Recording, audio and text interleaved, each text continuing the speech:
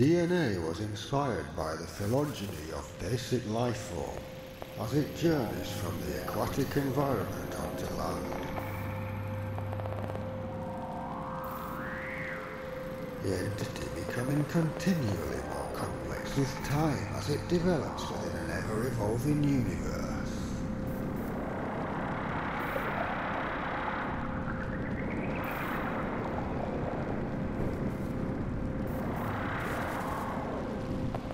Natural soundscapes and momentous resonations communicate that continual mutating advancement